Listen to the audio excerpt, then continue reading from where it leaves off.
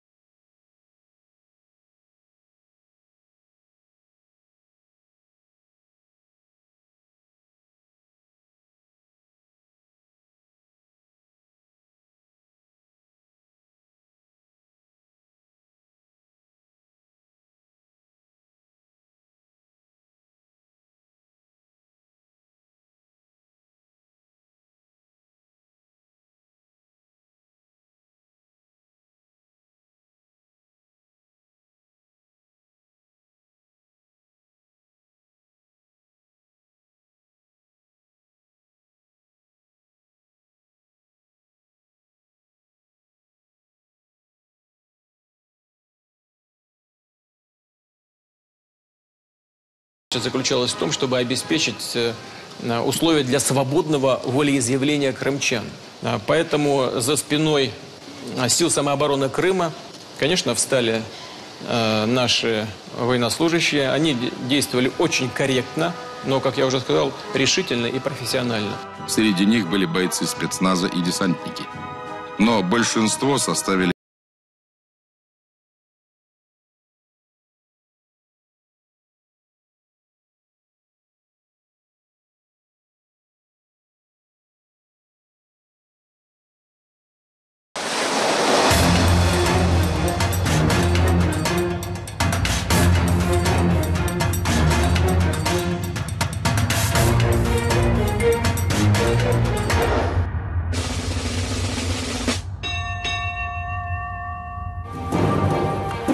сентября 1945 года.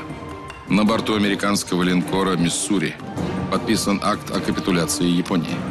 Так закончилась самая крупная в истории человечества Вторая мировая война. Общие людские потери достигли 65 миллионов человек. Советская морская пехота приобрела в этой войне бесценный опыт побед. Он уже доказал, что успех масштабной высадки войск могут обеспечить только специальные корабли – большие десантные катера, танкодесантные баржи, самоходные амфибии. В то время американские ВМС располагали наиболее многочисленным и разнообразным составом таких кораблей. Массированные морские десанты стали залогом решения стратегических задач.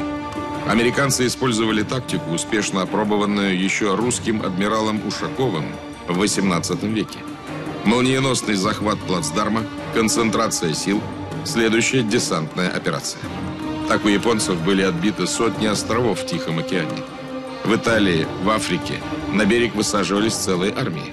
В Нормандии крупнейшая в мировой истории десантная операция англо-американских войск «Аверлорд» открыла второй фронт в Европе. Не прошло и года с окончания Второй мировой, как началась холодная война. Теперь вся военная мощь Соединенных Штатов угрожала СССР. Советский военно-морской флот по количеству кораблей в десятки раз уступал американскому.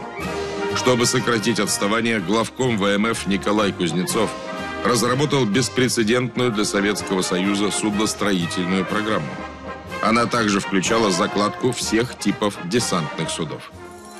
Первым пунктом было проектирование наиболее простых в сборке малых десантных кораблей МДК. В них нуждалось и народное хозяйство для перевозки грузов. За годы войны советский транспортный флот лишился половины тоннажа. Корабли проекта 450 рассчитывались для переброски трех единиц различной бронетехники на борту. И здесь конструкторы столкнулись с проблемой. При одинаковых габаритах танк в четыре раза тяжелее бронетранспортера. После погрузки танки значительно увеличивали осадку МДК, и он не мог близко подойти к берегу.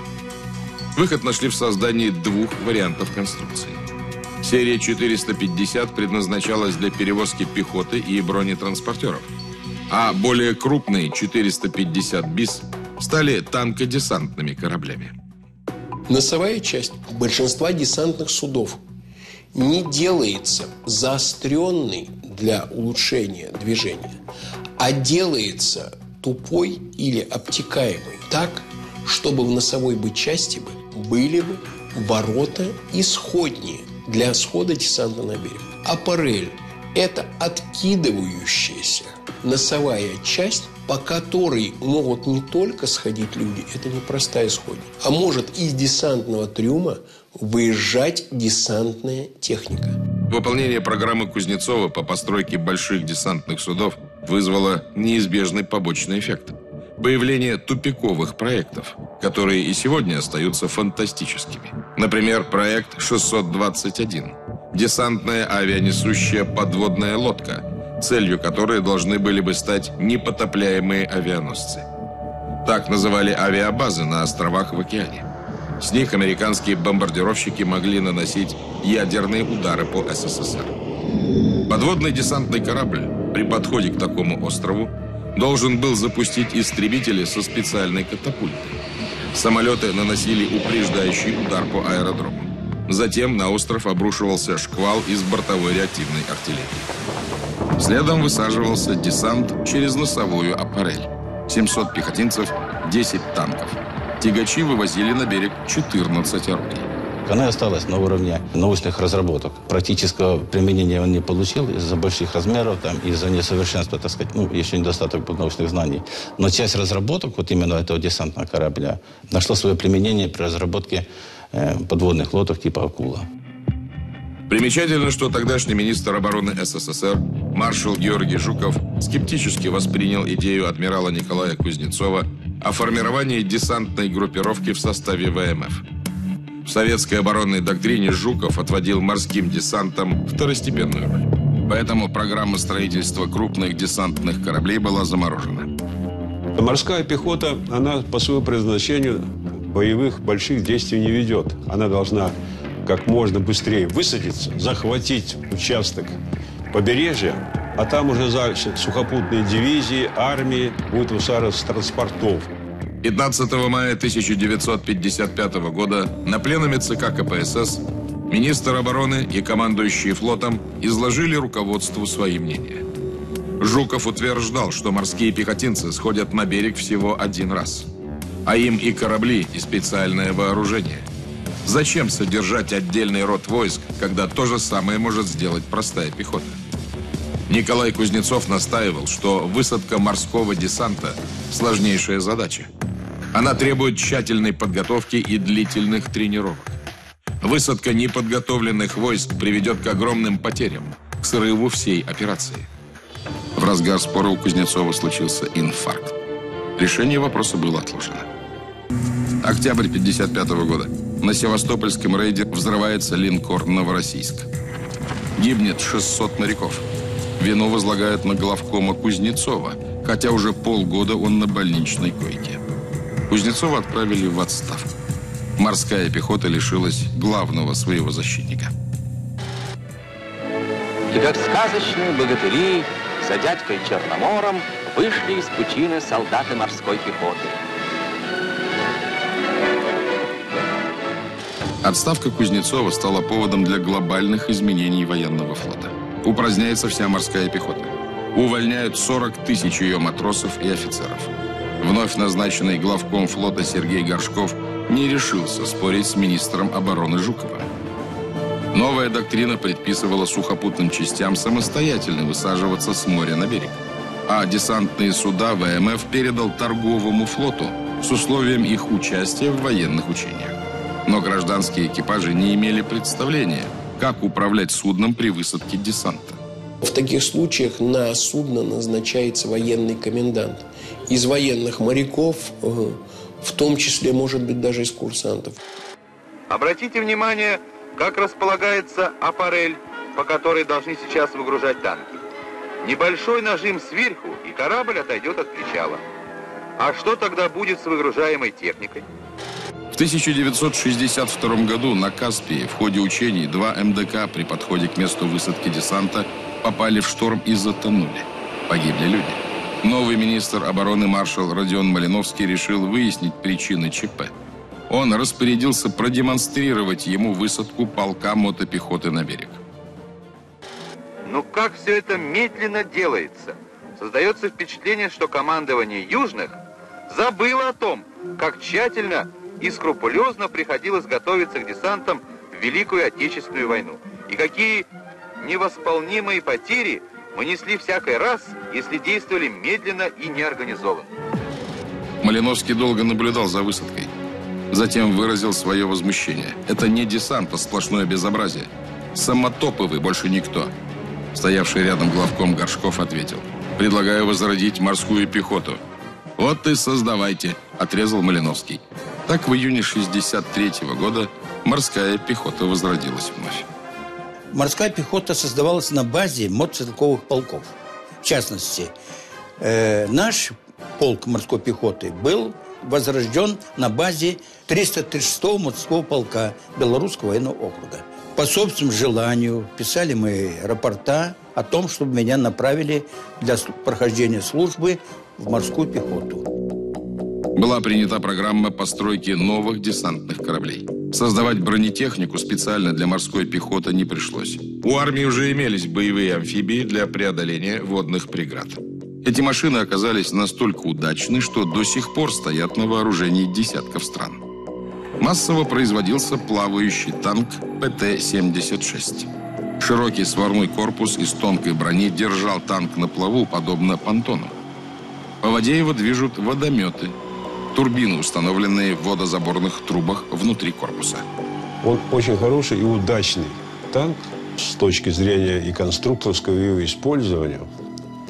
Он не просто плавал, ходил там по морю, как моряки говорят. Он даже стрелял, мог стрелять. И не просто по курсу, и даже э, под углами. В начале 60-х годов к парку плавающей бронетехники добавился колесный бронетранспортер БТР-60П. Но не вся техника, созданная для форсирования рек, подходила для моря. В то время, когда я высаживался, БТР-60П открывается просто эта крышка, ну, на стальном этом самом этом поручне, брезент. Вот открывается все. Я к чему все это говорю? Волна, вот, а надо же видеть, куда идет. То вот подымешь этот тент, волна, пах, вот так вот. Бронетехнику морской пехоты пришлось модернизировать. На БТР-60 десантное отделение закрыли водонепроницаемыми люками. На танк установили шноркели. Высокие, незаливаемые волной воздухозаборники. Современные образцы бронетехники морской пехоты – это варианты армейских амфибий. В них еще на стадии конструирования закладывается морской вариант. Так модель БМП-3Ф флотская обладает повышенной плавучестью и выдерживает волны до 2 метров. На прежних моделях бронетехники высокий шноркель демаскировал машину. На БМП-3Ф его сделали телескопическим. При сходе на воду воздухозаборник поднимается из корпуса на метр. При выходе на берег убирается. Появившийся в 50-е годы плавающий бронетранспортер К-61 военные сравнивают с автоматом Калашникова. Такой же простой и надежный. Выносливые, проходимые, очень э, неприхотливые в эксплуатации. На них технические люди, механики и так далее просто не могли нарадоваться. Создатель этого транспортера инженер Анатолий Федорович Кравцев. После войны разработал оригинальную схему амфибии и представил чертежи армейскому руководству. В Москве ему выделили целое конструкторское бюро, получившее название ОКБ инженерных войск. Транспортер должен был перевозить по суше и воде взвод солдат, преодолевать бездорожье и крутые подъемы. Эти задачи были под силу только машине на гусеничном ходу. Кравцев взял за основу шасси легкого и надежного артиллерийского тягача. Конструктор также предложил установить двигатель по центру тяжести машины, что сделало транспортер устойчивым на воде. В К-61 удачно сочетались маневренность на плаву и проходимость по суше. Еще одна находка Кравцева. Откидывающаяся часть корпуса стала аппарелью. Найденная Кравцевым схема воспроизведена в целом семействе средних плавающих транспортеров ПТС. 2011 году разработана последняя модель ПТС-4. Схема Кравцева положила начало целому классу амфибий. Особую известность получил болотоход ГТС. На базе ГТС создается многоцелевой тягач легкий бронированный МТЛБ в просторечии мотолыга. Его модификации – транспортеры пехоты, машины управления огнем, самоходные арт-установки «Гвоздика», зенитные комплексы «Стрела-10» встали на вооружение морской пехоты. В середине 60-х черным беретам наряду с освоением новой техники предписывались и новые задачи. Среди них защита советских боевых кораблей от возможных диверсий в иностранных портах. Морские пехотинцы называют ее боевой службой на кораблях. Предбеседа ярко иллюстрируется наглядными примерами. Рядом шестой американский флот. Пиратские корабли НАТО. Мы туда прибываем не просто, скажем, как на какую-то прогулку, как турист, а мы готовимся к боевым действиям. Более того, проводили занятия по командирской подготовке, занятия по огневой подготовке проводились. Мы проводили стрельбы по мишеням на плаву, боевыми патронами. Однако в то время мало кто из военно-морского командования мог предположить, что навыки, полученные в ходе тренировок, в скором будущем найдут применение на оживленных океанских трассах. Черным беретам придется осваивать старинную тактику абордажей. В 21 веке торговые пути сковала давно позабытая угроза морского разбоя. Май 2010 года. Аденский залив. Танкер «Московский университет» захватили сомалийские пираты. Они потребовали многомиллионный выкуп у судовладельцев. Экипаж успел передать сигналы бедствия. Их услышал и принял БПК – большой противолодочный корабль «Маршал Шапошников». За ночь БПК прошел 350 миль, 600 километров, и утром обнаружил танкер. Были подняты вертолеты и спущены катера с морскими пехотинцами на борту. Стоило вертолетам приблизиться, как пираты открыли огонь. Ответной очередью один пират был убит, остальные укрылись в корабельных надстройках. Морские пехотинцы провели молниеносную атаку с воздуха и с воды. Короткая схватка, и пираты обезврежены. Команда танкера спасена. Сегодня такая тактика двойной атаки на корабль считается классической. Специальные подразделения морской пехоты отрабатывают ее проведение в различных условиях. И с удовольствием демонстрируют на показательных выступлениях. Но зритель видит не все детали захвата. Многие элементы остаются тайной. Они станут сюрпризом для пиратов и террористов. Об освобождении танкера «Московский университет» был снят художественный фильм «22 минуты». Тема морской пехоты всегда привлекала кинематографистов. Фильмы о крепких, отважных, бескомпромиссных бойцах в черных беретах пользовались неизменным успехом. В середине 70-х на экраны вышел фильм Андрея Кончаловского «Романса влюбленных», ставший культовым. Я служу, работаю, учусь. Я охраняю Родину и помню о тебе. Прости, я отвлекусь. Обучение легкое я прошел, постарался научиться тому, про что мне рассказывали вот военные люди. Ну, мы поехали туда, на юг, чтобы я хотя бы мог пару дублей сыграть вот тонущего человека, тонущего моего персонажа. Было очень холодно, и я помню, что после первого дубля, когда я вылез весь э, трясущийся такой, я помню, что меня, значит, помощники там, режиссер, они растирали меня, по секрету скажу, спиртными напитками растирали картина вышла, и ее смотрят, то и были поездки и воинские части. Были у меня пачки писем, которые приходили не только от э, девушек, которым бы я был симпатичен в этом фильме, но и от военных, да, приходили, да, и говорили добрые слова, были сказаны вот в этих письмах э, в мой адрес. В романсе «Влюбленных» показана еще одна обязанность морской пехоты – помощь населению прибрежной зоны при стихийных бедствиях. Только десантные суда могут подойти к необорудованному берегу, выгрузить спасателей и технику, принять на борт пострадавших. Сразу после возрождения морской пехоты на нее возложили и другие особые задачи, о которых не снимали кино и не писала пресса. Июнь 1967 года. Израиль внезапным ударом захватил Синайский полуостров. Под угрозой оказалась столица Египта – Каир. Советское правительство сделало официальное предупреждение. Если Израиль продолжит наступление, СССР начнет военные действия на стороне Египта. Дипломатический жест только тогда имеет вес, когда опирается на реальную силу. Этой силой были советский флот и морская пехота. Когда в 1967 году начался арабо-израильский кризис, то наш батальон был поднят по тревоге. Наша задача стояла в том, чтобы э, в случае, если израильтяне будут наступать на Синайском полуострове уже в направлении Порсейда, то встать на защиту этого самого порта. Израиль остановил наступление. Египет был спасен. А контингент морской пехоты еще долго оставался в Порт-Саиде. Выполнение интернационального долга – это главная задача. А вторая задача – у нас же консульство было там. Так мы периодически повзводно охраняли, обороняли это, это консульство. Вот даже некоторые вот спрашивали, а вы стреляли бы из израильтян? Я вот четко говорю, что... Я говорю, ни один морской пехотинец ни одного выстрела не сделал в сторону израильтян.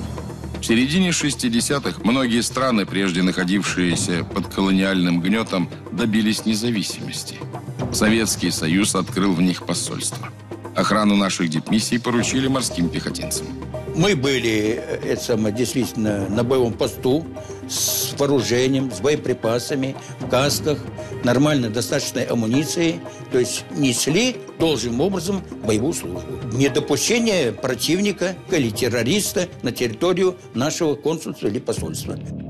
Морской пехоте не раз приходилось спасать дружественные СССР страны. Эти операции были совершенно секретны. Сегодня завеса секретности начала подниматься и в Анголе, и в Эфиопии. Порядка десятка стран, вот, где наши морские пехотинцы э, по приглашению той или иной стороны э, прибывали. Вот в, в Новой Гвинее, помню, значит. А там президента был Секут Суре. И вышли э, джунглей оппозиция, так называемая, банда. И сходу, в общем, захватили дворец, изгнали его с дворца. И сменилась власть. Мы э, получили такую задачу, подошли, высадились, провели определенную огневую показную стрельбу, прошли десантом по этим джунглям. И через два дня они все вышли из этих джунглей с поднятыми руками. Президента посадили на кресло на свое. За участие в тайных операциях сотни морских пехотинцев были удостоены боевых наград. Начало 70-х годов. Пик холодной войны. Американскую морскую пехоту называют «большой дубиной Америки». На ее вооружении тысячи танков, орудий, амфибий, ударная авиация, вертолеты, сотни кораблей.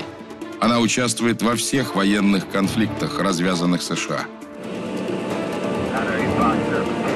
Ее базы опоясывают границы Советского Союза. А советская морская пехота – только начала получать необходимые ей корабли. СДК серии 773, средний десантный корабль, способный высаживать до 200 человек или 9 бронемашин в море или на берег. СДК могут принимать плавающую технику прямо с воды. А загрузка тяжелой бронетехники производится через верхнюю палубу не только в порту, но и в открытом море с больших транспортных судов. Высадка морского десанта считается одной из наиболее сложных военных операций. Э, наша специфика действия с воды на берег. И поэтому мы также проводим э, занятия, э, тренировки совместно с моряками. Погрузка на БДК и выгрузка на полигон. Даже погрузка техники на корабль – дело непростое. Поднять Скорее закрыть ворота. Самый быстрый способ высадки с корабля на берег. Но подойти к берегу возможно не всегда. Отрабатывается самый сложный вариант – спуск техники в воду.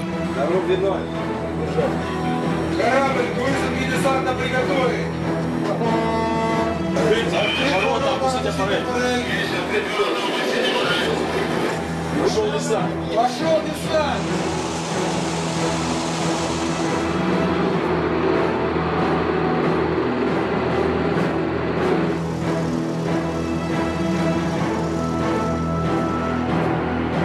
Воде БТРы отрабатывают обход рифов и уход из-под огня противника.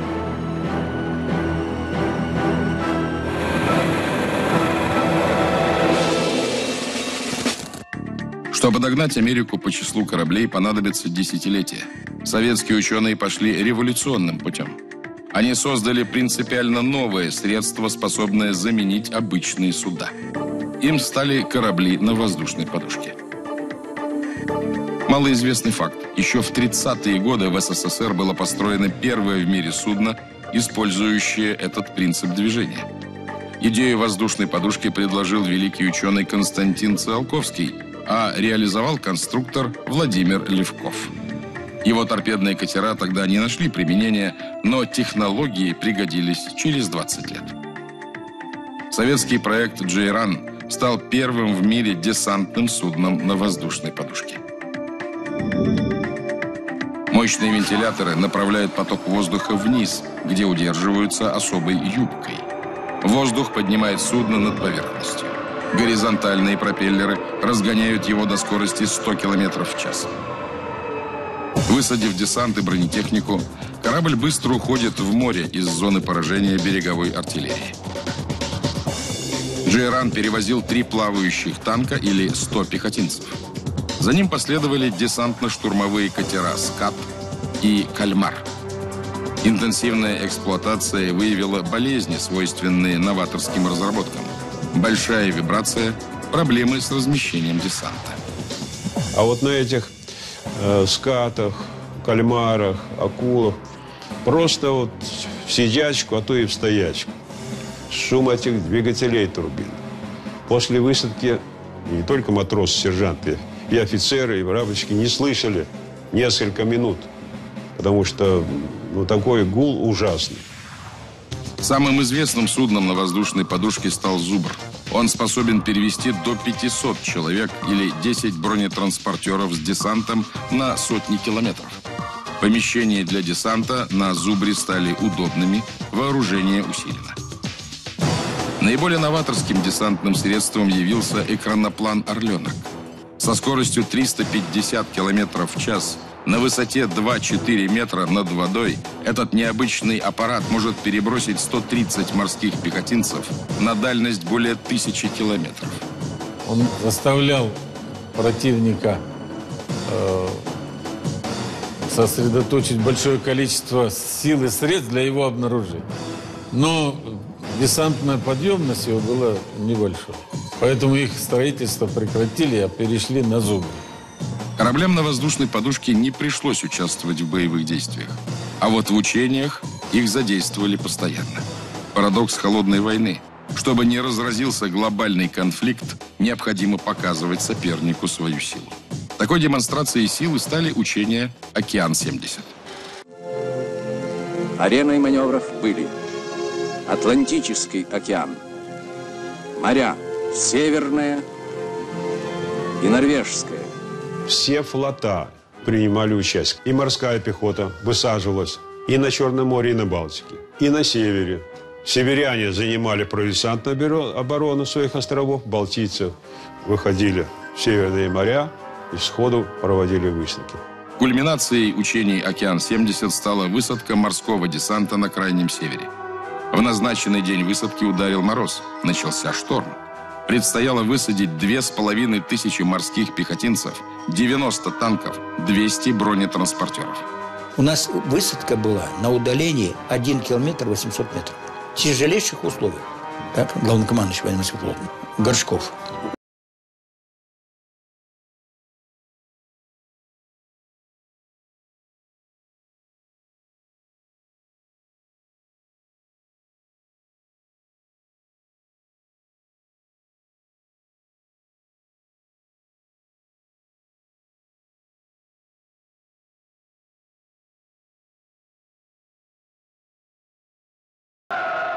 как раз вот это. Получил награду эту. Проанализировав ход учений «Океан-70», американцы сделали вывод. Русские могут обогнать их в развитии флота. Вскоре Конгресс США принял программу постройки сотен новых кораблей. В том числе закладку девяти специальных вертолетоносцев для проведения нового типа морских десантных операций. Это так называемая теория вертикального охвата. С помощью вертолетов десант захватывает территории не у уреза воды противника, не перед его береговой обороной, а в ее тылу.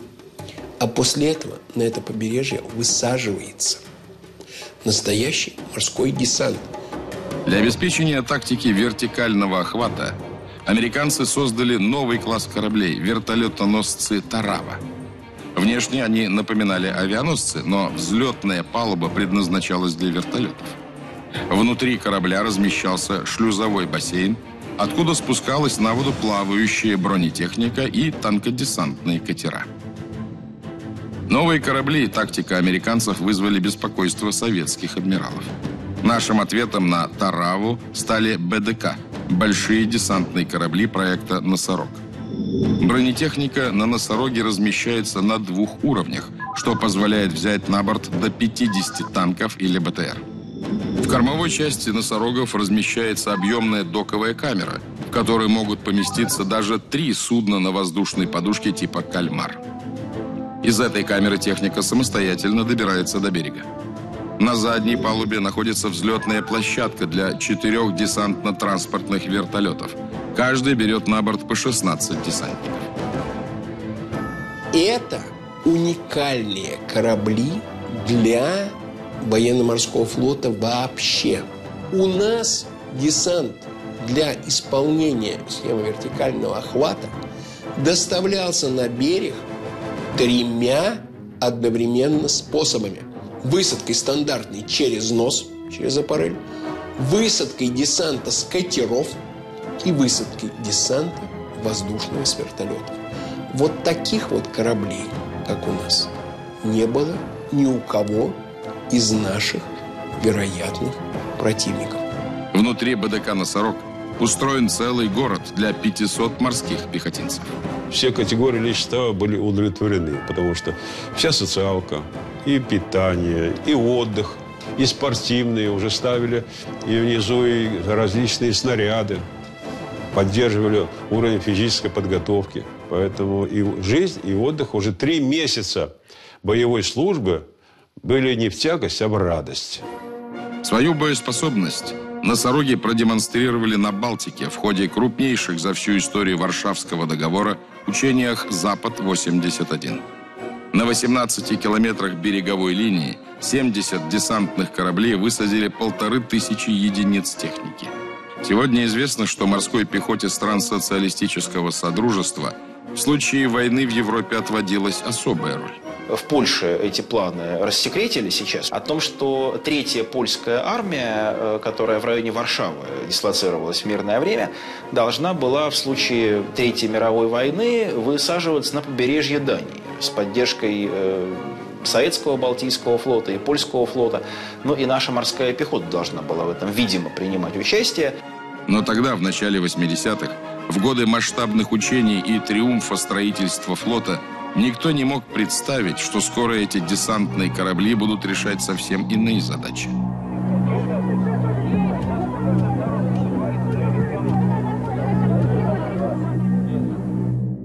Распад Советского Союза ударил по всей советской армии. Не стало исключением и морская пехота. Чтобы сохранить, морская пехота значит, стала сокращаться, вот я помню, из развернутых частей – вот дивизия была 10,5 тысяч человек от этих механиков. Делали их так под полторы тысячи. То есть главный офицерский состав сохранить. Морская пехота сокращалась, а спектр ее задач расширялся. Черным беретам пришлось участвовать в вооруженных конфликтах на территории бывшего СССР. В них морская пехота подтвердила свой девиз «Где мы, там победа». Сегодня защищать свою родину приходится далеко за ее пределами. Идет война с мировым терроризмом, который границ не признает. Помощь в борьбе с террористами потребовалась нашему союзнику Сирии. Из-за гражданской войны страна встала на грань гуманитарной катастрофы. И здесь российские десантные корабли оказались незаменимы. Именно они под охраной морских пехотинцев смогли оперативно доставить в Тартус десятки тысяч тонн грузов.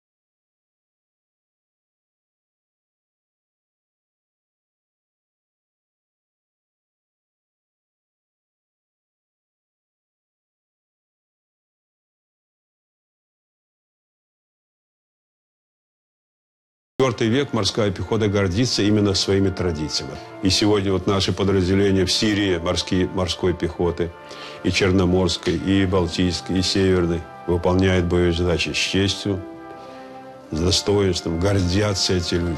Первые годы э, нам приходилось использовать десантно-высадочные средства только бывшие в народном хозяйстве, МДК, то затем вот 80-е, 90-е годы большой рывок делал. Столько кораблей, катеров на воздушной подушке. На морском параде в Санкт-Петербурге Верховному главнокомандующему был продемонстрирован скоростной десантный катер «Дюгонь». Слово «катер» может ввести в заблуждение. Это небольшое по размерам судно вмещает вдвое больше техники, чем малые десантные корабли полвека назад. Дюгонь доставляет к берегу 6 единиц бронетехники или 100 человек десанта со скоростью 60 км в час.